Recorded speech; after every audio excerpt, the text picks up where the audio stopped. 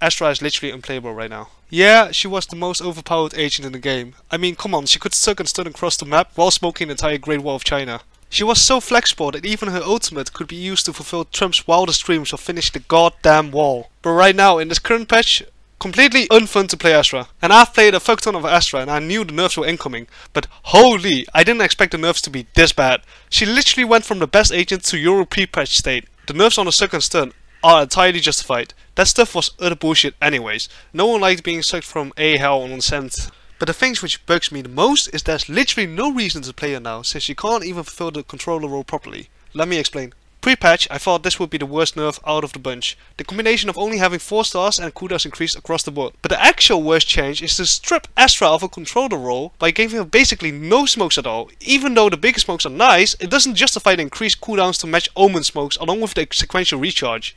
Omen still has his blind and teleport to work with. Astra only has her smokes and fake smokes which were both nerfed to the ground due to the cooldown increases.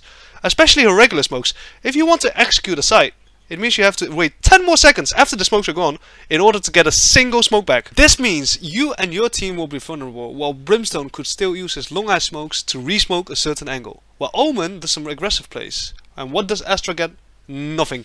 She can't even hide in her own smokes anymore because there isn't any smokes to work with, even if you have a star already. It can't be used. The patch didn't solve any issues, it only shifted the issues of Omen and Brim onto Astra. The previous problem was there's no reason to play Omen or Brim when you could have an Astra in your team.